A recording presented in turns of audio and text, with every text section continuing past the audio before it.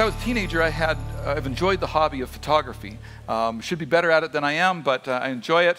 Um, and, I, and I think there's just something about capturing a moment uh, for remembrance, for reflection, for um, well, let me say a little bit about it. So here's a, here's a shot that I took. Uh, I, I get some, some, of these images kind of just rotating on my screensaver.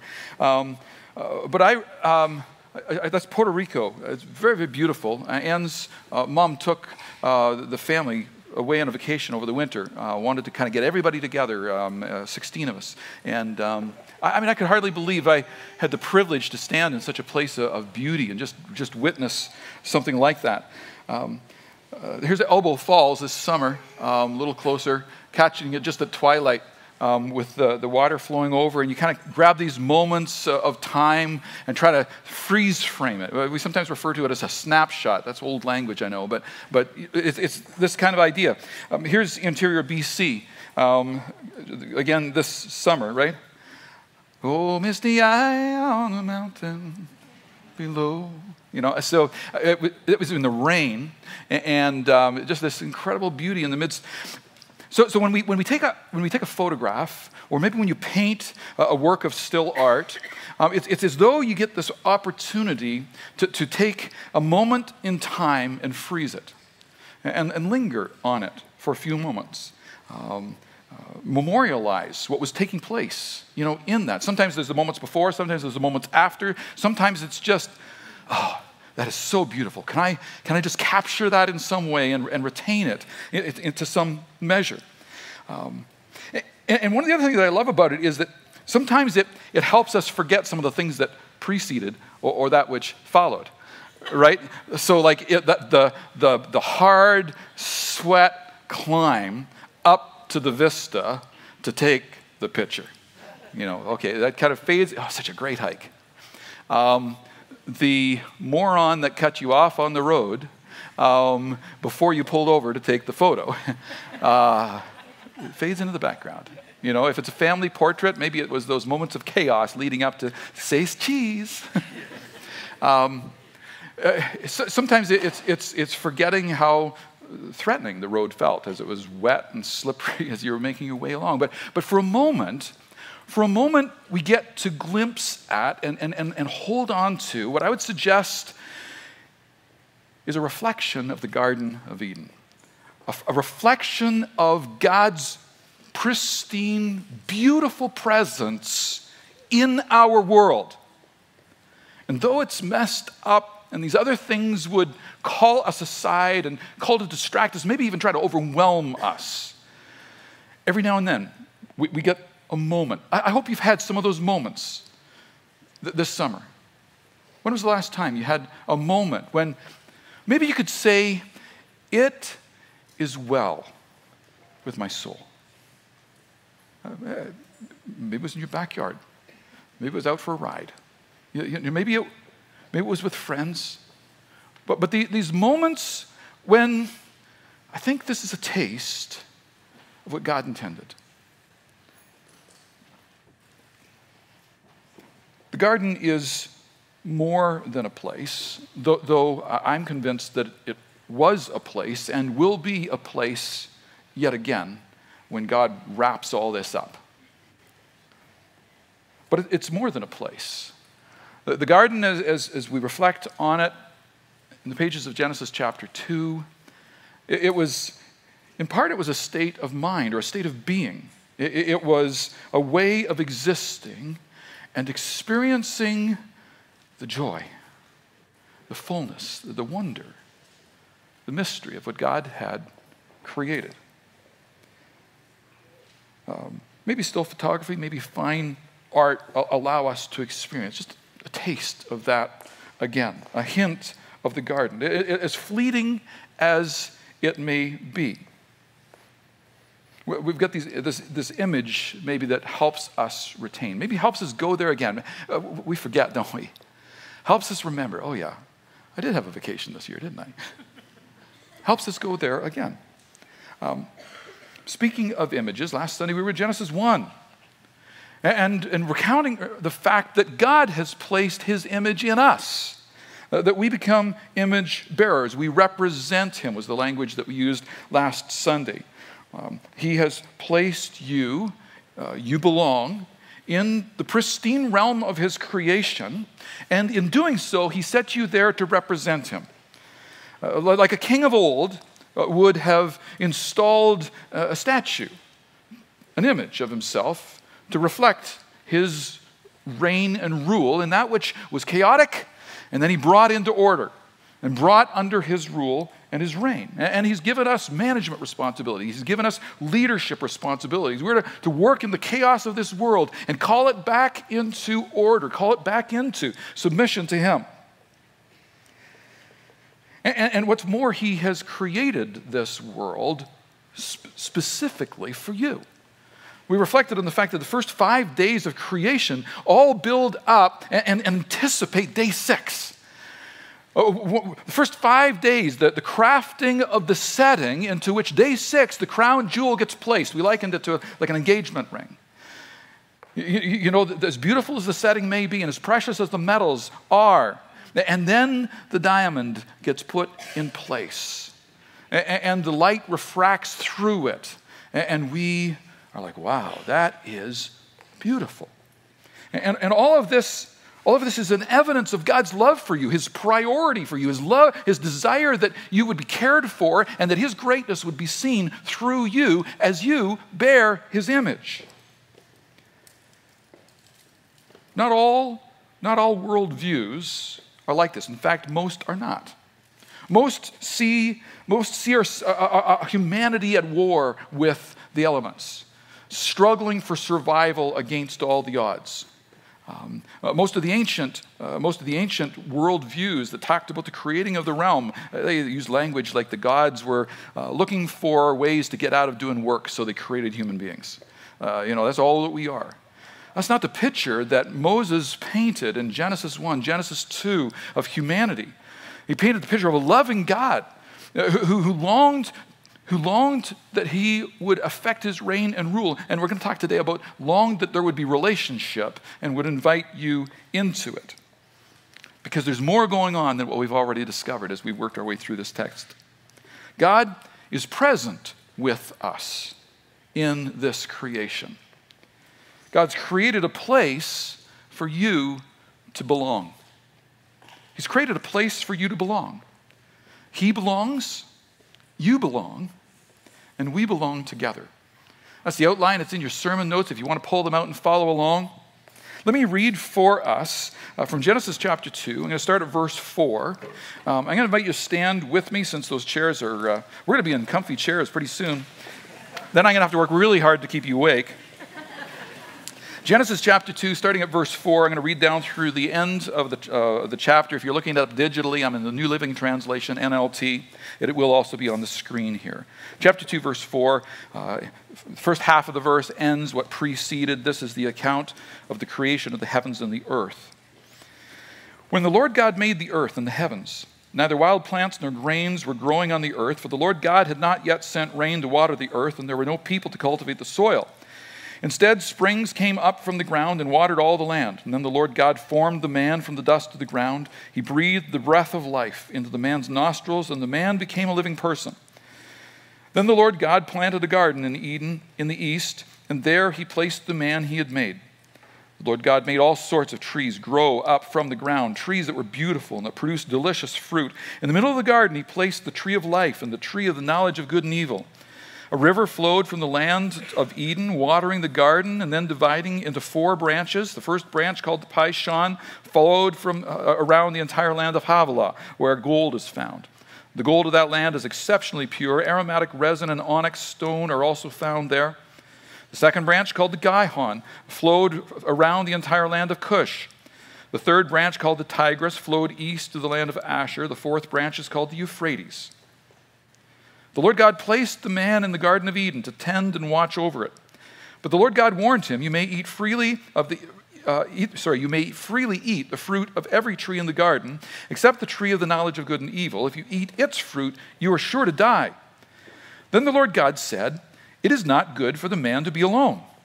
I will make a helper who is just right for him. So the Lord God formed from the ground all the wild animals, all the birds of the sky. He brought them to the man to see what he would call them, and the man chose a name for each one. He gave names to all the livestock, all the birds of the sky, all the wild animals, but still there was no helper just right for him. So the Lord God caused the man to fall into a deep sleep. And while the man slept, the Lord God took out one of the man's ribs and closed up the opening. Then the Lord God made a woman from the rib, and he brought her to the man. And last, the man said, This one is bone from my bone and flesh from my flesh. She will be called woman because she was taken from man. This explains why a man leaves his father and mother and is joined to his wife, and the two are united into one. Now, the man and his wife were both naked, but they felt no shame. This is the word of the Lord. May He help us understand it and, and begin to apply it in our lives this morning. You may be seated. God has placed God has created a place for you to belong. He belongs here, you belong here, and we belong together. Let's kind of just unpack that conceptually for a few minutes. He belongs. You and me, as image bearers, bearing the image of God, reflecting the likeness of the king and his reign and his rule in this place that he's created, this place where he's brought order together out of chaos, we are his ambassadors. Uh, we're to represent him here. But there's something else going on here, too. The language in Genesis chapter 1 that's being used to describe God's creating work. It's the language that's reminiscent in the ancient world uh, of, of building an ancient temple. Uh, the language is somewhat poetic, um, it's, it's beautiful. It describes the, uh, the installation of beauty. Uh, it uses language like, like this world was, was formless it was empty, it was dark. But then it took shape, and we were commanded to fill it, and, and light uh, radiated everywhere. Uh, there, there, was space, uh, there, was earth and sky, there was, there was uh, water and land. Uh, there's beautiful, nourishing vegetation in this temple that had been created. In the ancient world, when a people would build a temple for a so called God, uh, they would often install an image of that deity they were trying to honor in that temple. Well, lo and behold, God builds this temple for us and then puts us to represent his image in that space. It's, this enormous, glorious, spectacular temple that he's created. But there's even more. You see, the language that's used in Genesis chapter 2, verse 1, probably seems a little unusual to us. I, didn't read that part. Uh, so, uh, the creations of the heaven and the earth and everything in them was completed. On the seventh day, God had finished his work of creation, so he rested from all his work. And God blessed the seventh day and declared it holy because it was the day when he rested from all his work of creation. Was God tired? Like, like did he, had he exhausted himself in those first six days and like he needed to take a day off? Is that what's going on here? I, I, I, mean, the psalmist, Psalm 121 says he never sleeps nor slumbers. So, so how, does, how do we reconcile that? I mean, this isn't a reference to God taking a nap. This is a reference to God Himself coming and taking up residence in this cathedral that He has constructed. He created this space for us, but He has come Himself as resident within His creation. He belongs here. The Old Testament prophet Isaiah, he writes in chapter 66, he says, This was what, is what the Lord says Heaven is my throne, and the earth is my footstool. Could you build me a temple as good as that? Could you build me such a resting place? My hands have made both heaven and earth. They and everything in them are mine. I, the Lord, have spoken. He belongs in this place. Uh, he belongs, it's appropriate that we would worship him in this space. Part of the reason that all of creation testifies to his greatness is because he's created it to be so. The articles of the temple point to the one that it was designed to honor. He belongs here in this place he's created for you to be with him. You belong in this place too. Our youngest, Christy, got her learner's permit this week. well, she spent some time, kind of some early driving experiences at Grandma's farm this summer, driving the pickup truck around the farm, driving the garden tractor, a few things like this. You know how you maneuver machinery, right? But she got a learner's permit this week, so Dad took her out on some of the country roads around here. It takes some time to be comfortable in the place that you're supposed to be. You're allowed to be there, right? You got your license, you're allowed to, but it takes some time to get comfortable there. Mom put her in the van instead of the, the minivan instead of my car, and it was a whole different experience, right? New driver, that feels weird. This is, it takes time to be comfortable behind the wheel. Well, as image bearers, we need to begin to think about what it means for us to represent God in order for us to be comfortable in this place that He's designed us to be. Like, this is where we belong, here with Him in this space. Uh, look at God's words on day six, if you would. Chapter 1, verse 26, if you have your Bibles open. Um, Then God said, Let us make human beings in our image to be like us. Okay, I'll, I'll connect the dots here for you in a minute. Um, does anything strike you uh, as strange in that sentence? Um, I mean, the translators are interacting with the ancient Hebrew, um, Hebrew language, uh, writing that for us. And there's at least a couple of things that we read there. We say, what do they mean by that? So, so one of them is this the word God is plural. Okay, in the ancient Hebrew, uh, the, the word is Elohim. Um, it, it's a masculine noun with a plural ending on it. Um, and we say, well, that might just be a strange thing, and we just blow past it. Um, except as we continue to work our way through the pages of Scripture, we discover uh, that, that we're encountering God the Father, and, and then God the Holy Spirit, and then we get to the New Testament and we're introduced to God the Son, and we say, well, what, the Old Testament clearly declared there is one God. And we begin to understand that he is manifest in three persons. Uh, and we can't wrap our heads around that, though it's worth trying. Uh, but centuries of brilliant minds have said this seems to be incompatible, and yet in the greatness of God, it is. There is one God. And he exists, he's, he's, manifest in three persons God the Father, God the Son, God the Holy Spirit. We sometimes refer to this idea as the Godhead or the Trinity. Uh, one God, three persons, and He's created us to be like Him. And the language here that's used is let us make human beings in our image. And we look at that and say, well, is, is this somehow is this a, an anticipation of what's yet to be revealed about the nature and the person of God? If nothing else, we kind of look at that language around the, the Godhead and we say, three who are one living together in perfect harmony. This is a relational God. He exists in perfect relationship within himself Father, Son, Holy Spirit. Perfect community. He had no reason, no need to create us, except that we are now invited into that relationship. We're invited into that community. Now, there, there's more here, though.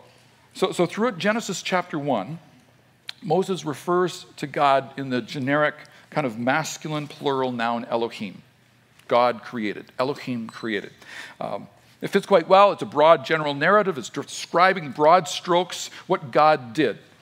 Quick aside it describes what God did, it describes who did it. It's not science. This is the language of an ancient writer, and this is not going into the details of how he did this. We could have a whole separate conversation about that, but the primary point of the text here is to declare that God did it. Okay? Um, generic, first chapter, Elohim, God. Second chapter, it gets very, much more personal, right? Like it's describing God breathing into the life into the man. It's a highly personal chapter. Moses' language changes and he begins to refer to Yahweh, Elohim. Uh, most of our English translations are the Lord God. And, and it goes on to describe what the Lord God did. Well, this, remember, this is Moses writing. And he's referring back to that encounter he had as a young man that's recorded for us in Exodus chapter 3 when God revealed himself to Moses, giving him the personal name for God. Remember Moses? Egyptian, the, the Israelites were enslaved in Egypt, uh, becoming too numerous. Pharaoh decided to annihilate the, the, the little boys, population limitation. Um, Moses' mom puts him in the, the, bushel basket and floats him in the Nile, and sisters watching, and Pharaoh's daughter finds him and takes him in, raises him as her, her, her own. Moses is given the, the best education the ancient world could have. It was a pretty decent education as far as we can tell. And then he's out kind of doing his princely duties when he sees Hebrews being abused. He steps in, murders a man, and then flees for his life eventually marries a gal and, and is caring for sheep and goats on the mount uh, on the side of mount sinai when this bush bursts into flame but doesn't be consumed and god speaks to him out of the bush and says i want you to go back and, and, and free my people I've, I've equipped you to be a leader. You're talking about being equipped for God equipping us for our assignments. I've equipped you to be a leader. Now I want you to go and lead. And we get to chapter 3, of Exodus, verse 13, Moses protested If I go to the people of Israel and tell them the God of your ancestors has sent me to you, they will ask me, What is his name? And then what shall I tell them? And God replied to Moses, I am who I am. Uh, uh that, that's the beginnings of the, the Hebrew form uh, of the, the name Yahweh, the personal name Yahweh. I am who I am. Say this to the people of Israel I am has sent me to you. God also said to Moses, Say this to the people of Israel Yahweh, the God of your ancestors, the God of Abraham, the God of Isaac, the God of Jacob, has sent me to you. This is my eternal name, my name to remember for all generations. Uh, Jewish people, even today, consider that name so sacred they refuse to pronounce it in public. They'll substitute Adonai, which is the Hebrew generic name for Lord, lowercase l, if in your English translation Bibles. Uh, Yahweh, uh, Jehovah, a mispronunciation of the word, um, capital L uh, Lord, usually L O R D, all caps um, in, our, in our English Bibles. This is my eternal name, my name to remember for all generations. Now go and call together all the elders of Israel. Tell them, Yahweh, the God of your ancestors, the God of Abraham, Isaac, and Jacob, has appeared to me. And he told me, I have been watching closely, and I see how the Egyptians are treating you. I have promised to rescue you from your oppression in Egypt, and I will lead you to a land flowing with milk and honey. Well, Moses does that they leave, they cross the, the Red Sea into the wilderness journey that should have taken 10 or 11 days ended up taking 40 years because of their disobedience and they're on the, the verge of the promised land. Moses gathering together oral traditions by the inspiration of the holy spirit writes genesis exodus the majority of genesis exodus leviticus numbers and deuteronomy. Hand of editors that have evident there here and there. But, but the majority of it written by moses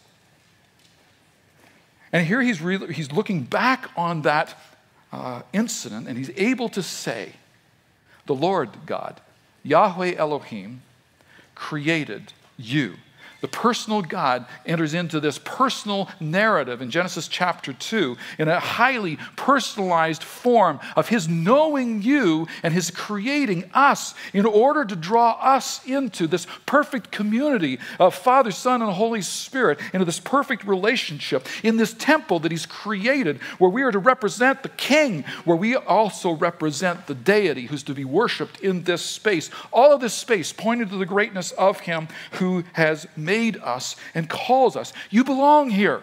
You are not a mistake. It is highly intentional on God's part that we are where we are, even at this point in history. And He's created you as a relational being like Himself. And His intent was that you would enjoy He Himself in that perfect fellowship, that perfect community. But there's even more. You see, if we only went that far, and we might say, okay, right, it's me and God. Isn't that a lovely, you know, relationship? You know, we'll just do life together. But it gets even more personal than this. In the midst of the specifics of God creating human beings, we come to chapter 2, verse 18, and we read this. Then the Lord God said, It is not good for the man to be alone. What? In the midst of this perfect creation, in the midst of this pristine environment, it is not good for the man to be alone.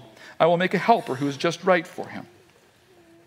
I'm pretty sure that I have had that passage read or read it myself at every wedding I've ever conducted in the last 26, 27 years of pastoral ministry. Um, Moses, just a few verses later, goes on to describe God's resolution to uh, this relationship problem. It's not good for the man to be alone. But let's not miss the primary assessment. Though he would be with us, and we are invited into relationship with him in this spectacular cathedral, it's not good for the man to be alone. We were created for relationship. We need relationship. God placed uh, us in this place where we belong. He belongs, you belong, but we belong together. You need other people in your life by God's design. From the ground up, as great as God is, and as wonderful and as powerful as He is, uh, and, and as, as, as mystical as the fellowship that we can have with the Godhead can be, He is still other, and you need one like you. We need one another. The, the, story is spectacular of how this proceeds. God and Adam search the earth, and Adam names the creatures that he finds, it, but it says no suitable helper was just right for him. No correspondent to him, equal to him, a, a mate to partner in the work he was assigned to. So the Lord God took radical steps, and out of the man's side, he created wow Wow. In the Hebrew, it's Isha. Isha. Adam, Adam, Adam man, Isha, woman. I, I, I, think it's very intentional. At last, the man exclaimed, This one is bone of my bone and flesh of my flesh. She will be called woman because she was taken from man. This explains why a man leaves his father and his mother and is joined to his wife, and the two are united into one. And you know, you think after all of that spectacular creative work and this incredible declaration of the two now together uh, being made one, that every marriage thereafter would be this blissful naked in the garden experience, right? Like, you just think that it would be perfection from there on out. And then we come to Genesis chapter 3. Oh, right? The fall of humanity. Th- that first failure to trust and obey God, even though we were placed in this pristine setting. Sin came. Division between husband and wife, division between all of us as human beings, division between humanity and God, who had lovingly, lovingly created us. I mean, what a sad tale chapter 3 becomes. So, could we just set that aside for a minute longer? Like, could we come back and just linger in the garden a little longer? Snapshot, photograph, piece of fine art where we would just be well with our soul in this moment. You don't have to be married to enjoy deep, meaningful community. Um, why, why could I say that? I can say that because Jesus demonstrated that. Uh, you, you don't have to be married to enjoy deep, meaningful community. Uh, Jesus demonstrated that you can live a completely fulfilled life. Now, here's what I mean by fulfilled you can fill God's purpose for you in this life and never marry. Prophet Daniel demonstrated that. Uh, the apostle Paul demonstrated that. Marriage is good, but it will never save you. In fact, in the crucible of marriage, uh, your flaws will be highlighted. You add one or two or three children to the mix, and I guarantee you that, that, that all of your flaws are going to come out. All of your weaknesses are going to be exposed. You know, you, know, you take, where's Tim? You take your kids, uh, you know, six of you in a van and drive them to the East Coast and back, and uh, there's some friction going to happen. You know, you take your family and move them across uh, the ocean, uh, to, and there's going to, there's, God is going to refine you through your family. You know, He's placed them around you very intentionally because He's got work to do in you, and they are the instruments by which He's going to do that work. You can resist that work, or you can submit to that work and say, Oh God, oh God, I need your help. But you don't have to be married in order to fill God's loving purposes for you. Uh, when marriage is not possible, meaningful community still is. But He is concerned for your well being. And that's why He offers meaningful community in this place that He's created for us. He offers little places, microcosmos, if you will. Within the grand community, He has created smaller and accessible community. And it's the gathering of God's people, it's what we call the church. When we, when we get it right, it's a beautiful thing. Though, admittedly, we rarely get it right. Like, we only occasionally kind of get it mostly right, maybe some of the time, right? But this is God's design to satisfy the relational needs that, that are present in us. And, and we don't get it right, and yet this is His commission. We are to belong together, and then we are to welcome belongers. Uh, we're to be an open system that invites anyone who's willing to come and find belonging, to find welcome, to find embrace. This place was created for belonging. We've been talking about building a place to belong over the last three, four years. Um, that we called to grow, building a place to belong. And we're really, like God values place. Uh, not all systems of the world do. Some find themselves at odds with uh, the created realm. God values place. He's bu- he builds stuff. In fact, when we build stuff, when we create, we're actually, in one sense, reflecting uh, the creativity of the Creator. We're enacting some of what it means for us to be image bearers. But the place that we are creating is a place for you and me and all those who are yet to come to belong. As I wrap up, I'm going to invite the worship team to come and just prepare to, to, to lead us in response. But I have four, four requests for you here this morning. The first is that if you're not in relationship with God, you need to change that. If you're not in relationship with God, you need to change that. He made you for Himself, and you will never be complete apart from Him. Confess the reality that you've been living your life independent of Him. And then apologize to Him for it. I'm sorry. And then change it. Begin to live life with Him, walking with Him. Through the work of Jesus, this has been made possible. If you'd like to talk about that after, myself, any of our prayer team over by the cross, we would be delighted in helping you take that step. Here's a second request. If you're not in relationship with other followers of Jesus, fix that. That's broken, friend. We are meant to be in relationship with one another. It's not good for you to be alone. We, we, we have created, as a church family, life groups as our primary response to that need. Um, please join one. Purpose this fall to join one. Within the next week or two, we'll have an initial listing of groups, when they meet, and, and invitations for you to get involved. Here, here's the third request. If you are lonely, please let us know. Please tell us. We'll do our level best to try to minister to you in a helpful way. Fourth request we need to resolve to welcome new belongers. Such is the commission of the church. We need to resolve to welcome new belongers. And In just a few weeks, we'll open our doors to a new sanctuary and we'll invite everyone who's ever been a part, ever had any association with us to come celebrate with us. And we're going to invite everybody who's never walked through the door, maybe never even considered that God created them with purpose and design and loves them, to come through the doors too. And we got to figure out how to be a place of belonging. It begins with a warm handshake. Uh, we, have been able to celebrate that you're pretty good at that. That's fantastic. But, but know that that's just the first step.